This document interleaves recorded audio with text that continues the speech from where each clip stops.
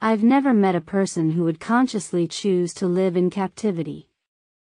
Yet I've witnessed again and again how willingly we hand over our spiritual and mental freedom, choosing to give another person or entity the responsibility of guiding our lives, of choosing for us. A young couple helped me understand the consequences of abdicating this responsibility, of turning it over to someone else. They struck a special chord in me because of their youth, because they were in the phase of life when most of us are hungry for autonomy, and ironically, the time when we may be particularly anxious about whether we are ready for it, strong enough to bear the weight of it. When Elise sought my help, she had reached suicidal despair. She was 21 years old, her curly blonde hair gathered in a ponytail. Her eyes were red from crying. She wore a man's large athletic jersey that came almost to her knees. I sat with Elise in the bright October sun as she tried to explain the roots of her anguish, Todd. A charismatic, ambitious, handsome basketball player, Todd was a near celebrity on campus. She had met him two years ago, when she was a freshman in college and he was a sophomore. Everyone knew Todd. The revelation for Elise was that he wanted to get to know her. He was physically attracted to her, and he liked that Elise didn't try too hard to impress him. She wasn't superficial. Their personalities seemed complementary, she was quiet and shy, he was talkative and outgoing, she was an observer, he a performer. They hadn't been dating long before Todd asked her to move in with him. Elise brightened as she recounted the early months of their relationship. She said that in the spotlight of Todd's affection, for the first time she felt not just good enough, she felt extraordinary. It wasn't that she had ever felt neglected, or deprived or unloved as a child or in her earlier relationships. But Todd's attention made her feel alive in a new way. She loved the feeling. Unfortunately, it was a feeling that came and went. Sometimes she felt insecure in their relationship. Especially at basketball games and parties, when other women flirted with Todd, she would feel chills of jealousy or inadequacy. Sometimes she scolded Todd after parties if he had appeared to flirt back. Sometimes he would reassure her, sometimes he would express irritation at her insecurities. She tried not to be the nagging girlfriend. She tried to find ways to be indispensable to him. She became his main academic support. He struggled to maintain the passing grades that his athletic scholarship required. At first Elise helped him study for tests. Then she started helping with his homework. Soon she was writing his papers for him, staying up late to do his work in addition to her own. Consciously or not, Elise found a way to make Todd dependent on her. The relationship would have to last, because he needed her in order to maintain his scholarship and everything it enabled. The feeling of being indispensable was so intoxicating and soothing that Elise's life became organized around one equation. The more I do for him, the more he'll love me. Without realizing it, she had begun to equate her sense of self-worth with having his love. Recently, Todd had confessed something that Elise had always feared would happen. He had slept with another woman. She was angry and hurt. He was apologetic and tearful. But he hadn't been able to break things off with the other woman. He loved her. He was sorry. He hoped he and Elise could still be friends. Elise could barely force herself to leave the apartment that first week. She had no appetite. She couldn't get dressed. She was terrified of being alone, and she was ashamed. She realized how completely she had let her relationship direct her life, and at what cost. Then Todd called.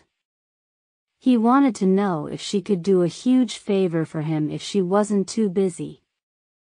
He had a paper due on Monday. Could she write it? She wrote the paper for him. And the next one, and the next one. I gave him everything, she said.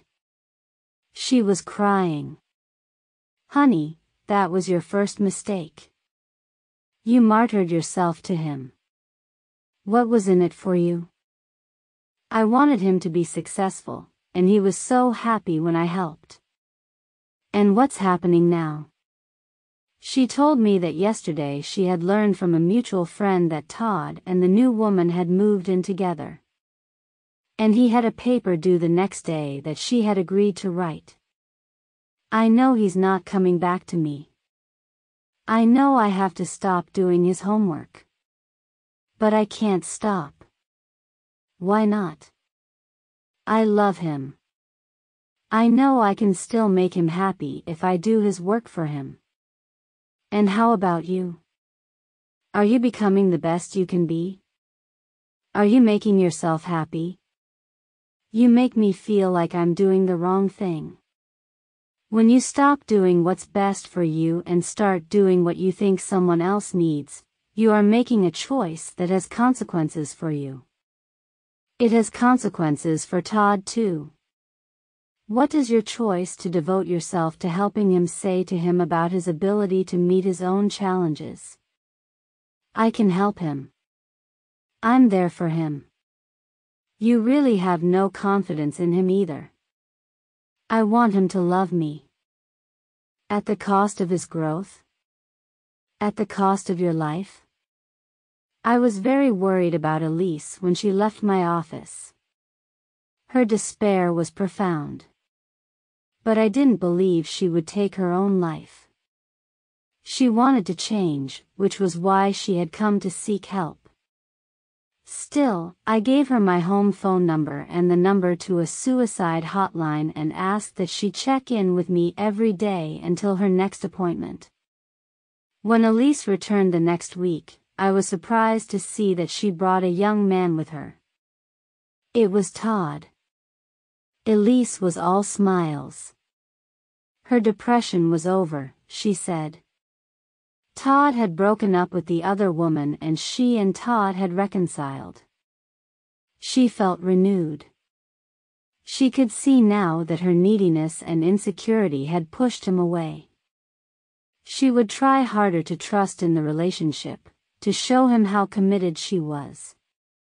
During the session, Todd looked impatient and bored, glancing at the clock, shifting in his seat as though his legs were falling asleep. There is no such thing as getting back together without a new beginning. What's the new relationship you want? What are you willing to give up to get there? I asked. They stared at me. Let's start with what you have in common. What do you love to do together? Todd looked at the clock. Elise scooted closer to him. Here's your homework, I said. I want you to each find one new thing you like to do by yourself, and one new thing you like to do together. It can't be basketball or homework or sex. Do something fun and get out of the familiar. Elise and Todd returned to my office occasionally over the next six months.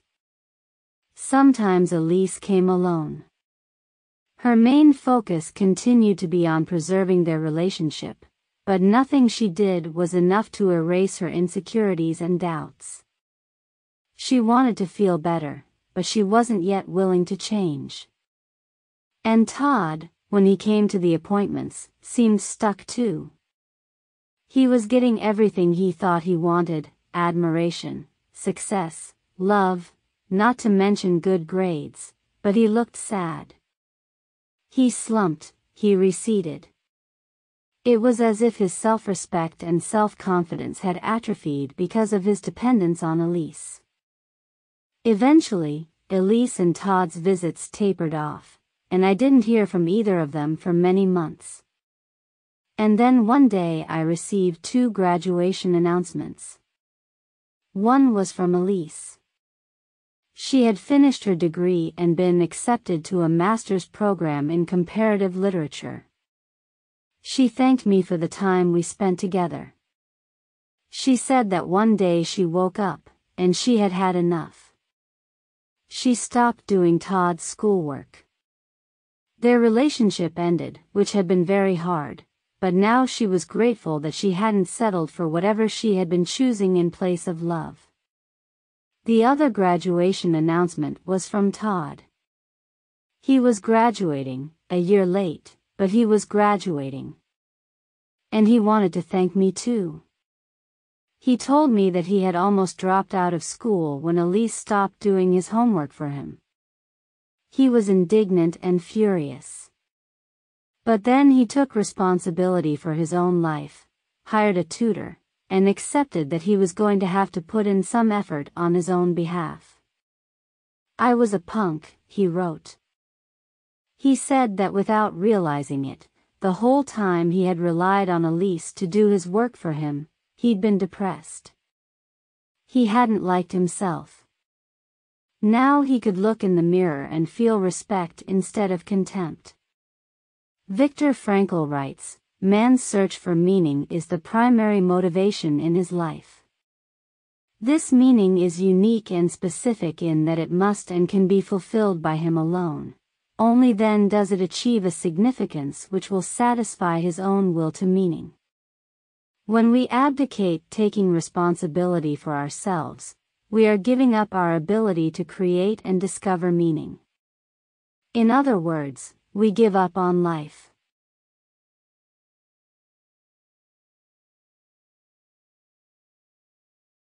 Chapter 21 The Girl Without Hands The second step in the dance of freedom is learning how to take risks that are necessary to true self-realization. The biggest risk I took on that journey was to return to Auschwitz. There were people on the outside, Marianne's host family, the clerk at the Polish embassy, telling me not to go. And there was my internal gatekeeper, the part of me that wanted to be safe more than I wanted to be free. But the night I lay awake in Goebbels's bed, I intuited the truth that I wouldn't be a complete person until I went back, that for my own health I needed to be in that place again. Taking risks doesn't mean throwing ourselves blindly into danger. But it means embracing our fears so that we are not imprisoned by them. Carlos began to work with me when he was a high school sophomore, struggling with social anxiety and self-acceptance. He was so afraid of being rejected by his peers that he wouldn't risk initiating friendships or relationships. One day I asked him to tell me about the 10 most popular girls at his school. And then I gave him an assignment. He was to ask each of these girls out on a date. He told me that was impossible, that he would be committing social suicide, that they would never go out with him, that he would be laughed at for the rest of his high school days for having been so pathetic. I told him, yes, it's true, you might not get what you want, but even if you don't, you'll still be better off than you were before, because you'll know where you stand, You'll have more information, and you'll be seeing what's actually real instead of a reality created by your fear. Finally, he agreed to the assignment. And to his surprise, four of the most popular girls accepted. He'd already made up his mind about his worth, he'd already rejected himself 500 times in his own head, and that fear had been coming through in his body language, in eyes that were hooded and averted instead of sparkling, connecting. He had made himself unavailable for joy. Once he embraced his fear and his choices and took a risk, he discovered possibilities that he hadn't known existed. A few years later, on an autumn day in 2007, Carlos called me from his college dorm room. Anxiety pinched his voice. I need help, he said. Now he was a sophomore at a Big Ten university in the Midwest. When I heard from him out of the blue, I thought that perhaps his social anxieties had again become overwhelming. Tell me what's happening, I said. It was pledge week on campus, he said. I already knew that it had been his dream since he was in high school to belong to a fraternity. Once he began college, the dream had become even more important to him, he told me. Greek life was a significant piece of his university's social fabric, and all of his friends were pledging, so being in a frat seemed necessary to his social survival. He had heard rumors about inappropriate hazing rituals at other fraternities, but he had chosen his fraternity carefully. He liked the racial diversity of the members and the fraternity's emphasis on social service. It seemed like a perfect fit.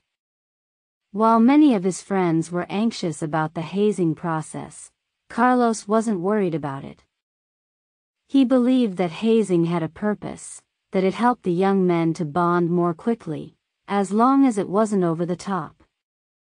But Pledge Week was not turning out as Carlos had imagined. What's different? I asked. My pledge master's on a power trip. He told me that the pledge master was incredibly aggressive, seeking out every pledge's weak spots and pushing hard on them. He called one young man's taste in music gay. During a pledge meeting, he looked at Carlos and said, You look like a guy who should be mowing my lawn. How did you feel when he said that? I was so mad. I wanted to punch him in the face. What did you do? Nothing. He was just trying to get me worked up. I didn't react. What happened next?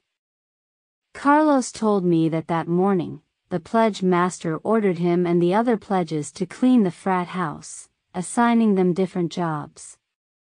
He handed Carlos a toilet brush and a bottle of cleaner.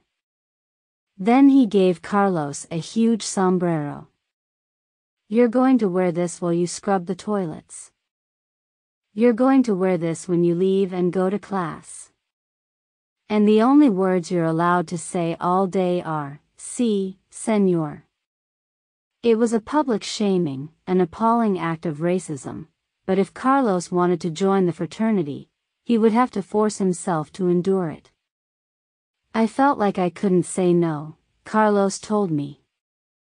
His voice shook. It was awful. But I did it. I didn't want to lose my spot just because the pledge master's an asshole. I didn't want to let him win. I can hear how angry you are. I'm furious. And embarrassed. And confused. I feel like I should have been able to take it without it upsetting me. Tell me more. I know it's not the same at all, but while I was scrubbing toilets in the sombrero, I thought about that story you told me about when you were at the death camp, when you were forced to dance. I remember you said that you were scared, and you were in prison, but you felt free. That the guards were more imprisoned than you. I know the pledge master's an idiot. Why can't I just do what he wants me to do and still feel free inside? You've always told me it's not what's happening outside that matters, it's what's inside. I'm proud of my Mexican identity. Why should his bullshit matter to me? Why can't I just rise above it? It was a beautiful question. Where does our power reside? Is it enough to find our inner strength, our inner truth, or does empowerment also require that we take action on the outside? I do believe it's what's happening inside that matters most.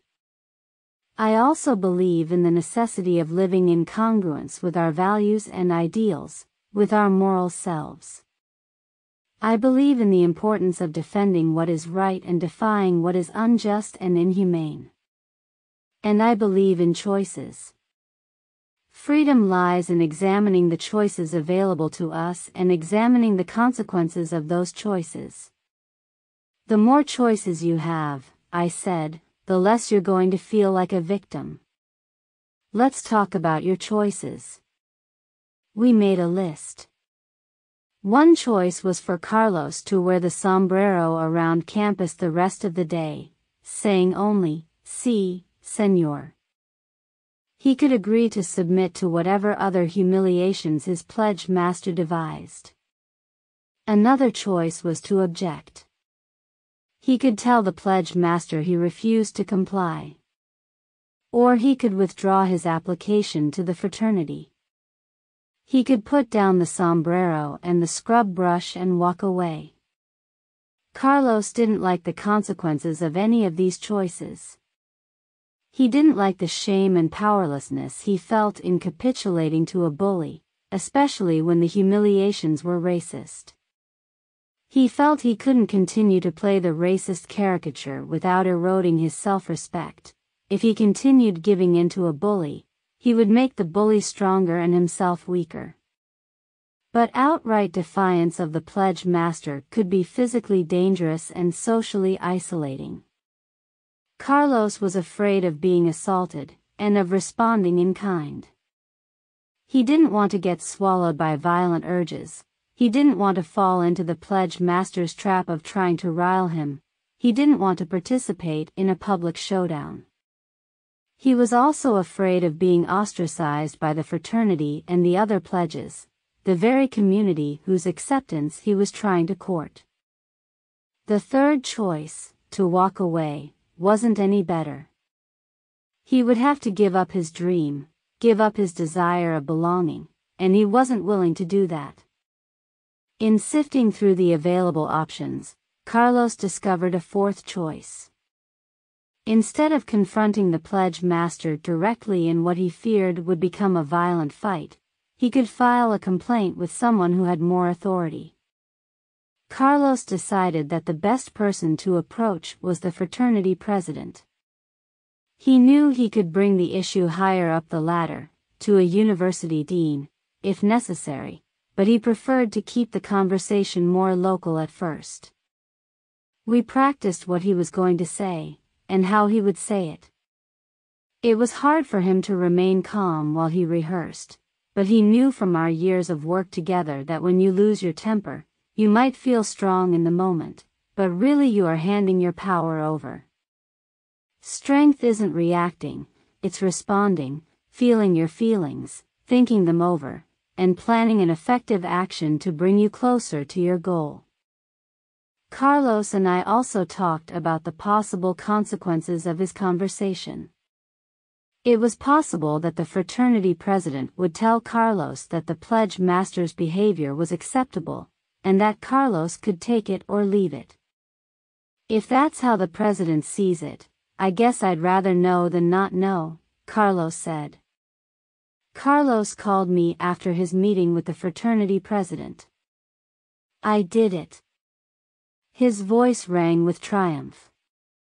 I told him what was happening, and he said it was disgusting and he wouldn't tolerate it. He's forcing the pledge master to stop the racist hazing. Of course I was happy that Carlos was being validated and supported, and happy that he did not have to give up his dream. But I believe it would have been a triumphant encounter no matter the fraternity president's response. Carlos had embraced his power to stand up and speak his truth at the risk of being excluded and criticized. He had chosen not to be a victim. And he had taken a moral stand. He had acted in alignment with a higher purpose, to combat racism, to protect human dignity. In defending his own humanity, he protected everyone's. He paved a way for all of us to live in keeping with our moral truth and ideals. Doing what is right is rarely the same as doing what is safe.